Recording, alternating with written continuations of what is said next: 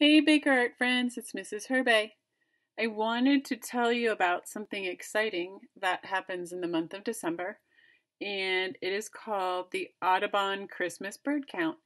And you guys might say, "Well, what on earth is that, Mrs. Herbay?" And it's a um, it's a citizen science project where um, people um, in their um, citizens around the world um, in their communities and where they live um, go out on Christmas Day or at a time, sort of give or take around that time, and they go out and they count the birds um, in the area where they live and they document it and then they turn it into an organization called the National Audubon Society. And you might say, well, why did why is that important? Why do people do that? And it's important for a number of reasons. One is that um, they can take the Audubon Society can take all this data and then they can use it to determine how climate change is affecting the bird population around the world or um, what species of birds might be in trouble where there aren't as many of those birds um, being seen anymore, um, or also what areas um, need some conservation help. So it's a really cool thing. And so I thought that it would be fun if we also did sort of, we thought about the birds in the month of December in our ba- own backyards and around our school. And if we did our own kind of bird count. And what's going to happen is that each grade level is going to do in our project that is focused around um, in, in different medium, but focused around the birds that we can find here in Pennsylvania. So without further ado, I wanted to show you guys this poster and it has a lot of the backyard birds that can be found in Pennsylvania. And a lot of them you may recognize um, common ones such as the American robin or the American crow or the blue jay or the cardinal. Um, I don't know if you guys, um, you probably recognize the dove, mourning dove, and some of the sparrows um, that are on this poster. Um, but maybe some of the other birds you're not quite as familiar with. So we're going to take a look at some photos of those um, in this PowerPoint. And I've also included at the end of the PowerPoint a number of different species of owls that also can be found in Pennsylvania. Although owls are um, a lot trickier to spot and to find and you guys are going to listen to a book uh, called Counting Birds, and the author of that book talks about um, what is what is needed when you go out and try to find or count owls in your area. It's a little bit tricky. Um, but I've also included those as well um, that you may want to um, draw and include as part of your artwork. So the first type of birds that we're going, well, before we do that, what I want us to do is I want us to think about if we were going to sit down and draw a bird, what do we, what are some things that we need to think about? And the first thing we need to think about is the shape of the bird's body. And a lot of, um, when you draw a bird, once you kind of study birds, you kind of start to find a common theme to the shape of the body. And we're going to um, discover that as we look at some different photos of birds. Um, the same would be for the head shape and also the wing and the tail shape and the beak shape. Um, birds also have feathers, but they don't have all the same type of feathers. Um, they have larger feathers and they also have smaller feathers. And so when we think about drawing the different feathers, we would use different types of lines to represent the different types of feathers. Birds also have unique feet. Um, their feet are often very um, delicate and they have little sort of sharp claws on the end of them that allow them to kind of grasp onto the branches. And last but not least, um, we need to also think about the markings on the birds because a lot of birds, um, the markings or their color is what also helps us to recognize them um, for what they are. So the first type or the first kinds of birds that we're going to look at have uh, maybe more rounded and um, wider sort of, I don't want to say, they're a little bit um, chunkier like of a body where it's short and wide and round. And so this first bird is called a black-capped chickadee, and we can kind of see why because the top of the bird's head looks like it has a black cap on the top of it.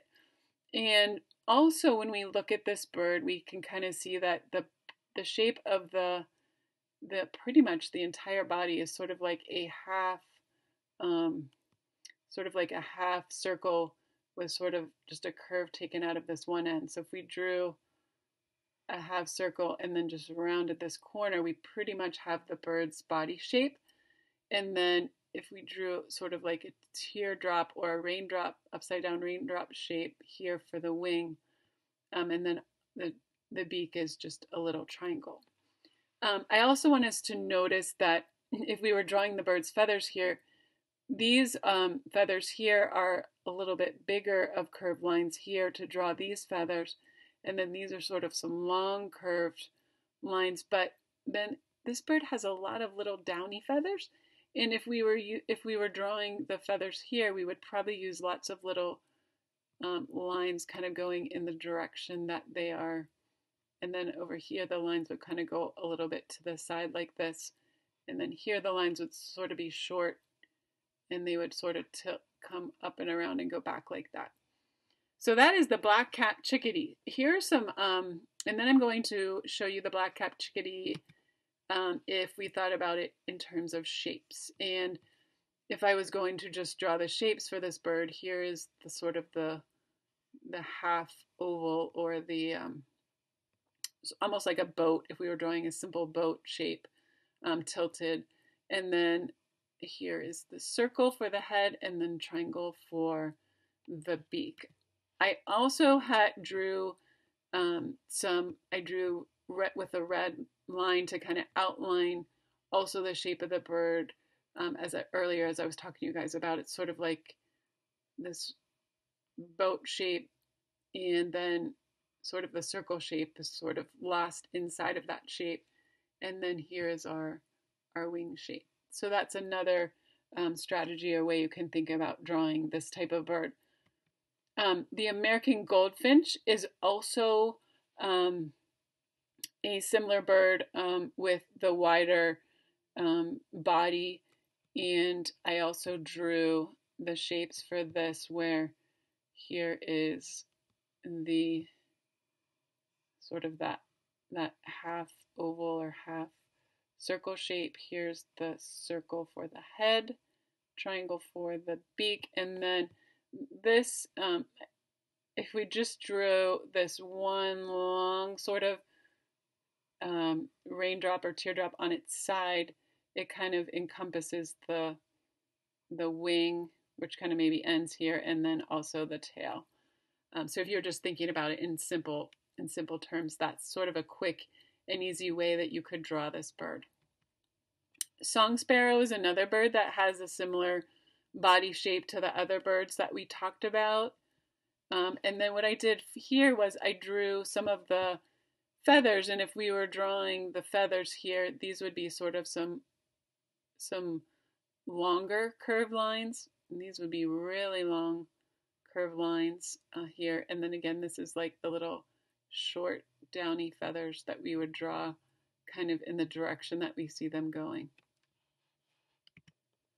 Here's another interesting little bird. This is called a Carolina wren. It also has the same type of body shape um, as sort of that first chickadee that we looked at.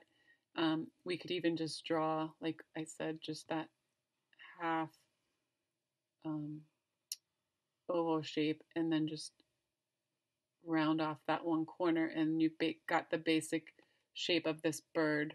And then we have here the teardrop shape for the wing, and then we have um, sort of the shape here for the tail.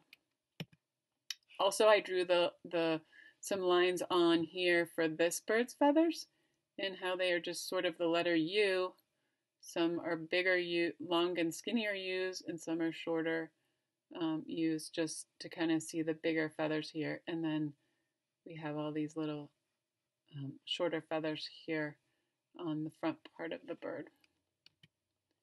The white-throated sparrow is also um, a bird that also would be drawn with a similar strategy, and we can see why it's called a white-throated sparrow because it has this little tuft of feathers right where its throat is, but it also has some interesting markings on its forehead.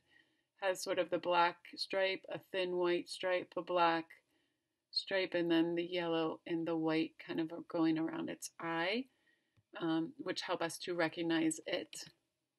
Um, and then this is called a house sparrow. These are sparrows that um, are very common. I know um, the neighbor that lives next to us has a vent in the side of their house, and there's a whole family of sparrows that always like to live in that vent.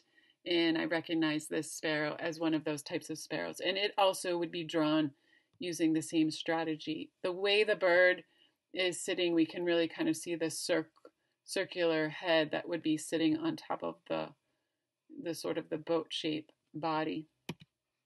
A dark-eyed junco, that's the type of bird that I didn't really hear about, but um, again, it would have the same type of um, shapes as the other birds we talked about, as well as the eastern bluebird, which is really pretty with its blue markings um, and colors, and then sort of the orangish, uh, sort of the light orangish color with the blue. And it looks nice together because if you remember um, our color theory, Blue and orange are complementary colors, so they look really nice together. This is called a white-breasted nuthatch, and it also has a similar body shape and strategy as the other birds, but if we notice, its beak is a lot longer and thinner than some of the other birds that we were just looking at. Um, this is a tufted titmouse, and we can see why it's called tufted because it has this little tuft of hair uh, or feathers on the top of its head. And we could sort of do that by putting a triangle on top of the circle that we would draw for the head. This is another angle or um, pose of a tufted titmouse. And then from this point on, the birds that we are going to be looking at have a little bit of a different body shape than the other birds. Their bodies are a little bit more they're a little bit longer and a little bit narrower than the other birds, but we would be using sort of the same type of shapes. And I have here on this robin, we just see how the body shape is a little bit more elongated and a little bit thinner. And here's the head and the beak. And then for the, the um, this wing, we can just sort of use a smaller, um, this is another shape that you could use um, for a wing, and then here is the tail feather shape.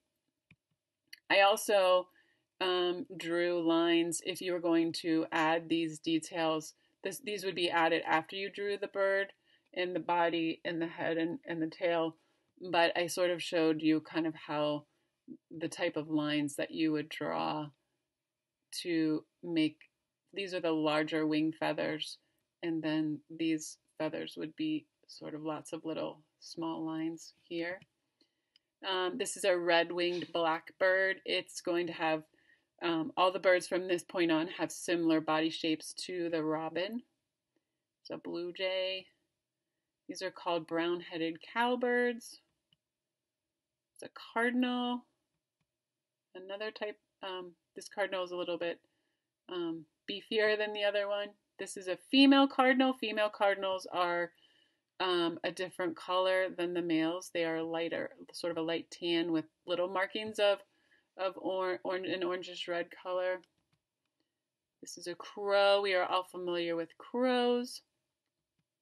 This is called a European starling. It has a lot of really interesting kind of feathers and markings on it with the little white dots. Here's a, um, a different, um, just a different picture of a European starling and this is called a common grackle. I don't know if you've ever seen them, but it's almost like their feathers are they they almost appear black, but then they sort of have this iridescent coloring on them, which makes them look kind of cool. Here's another one.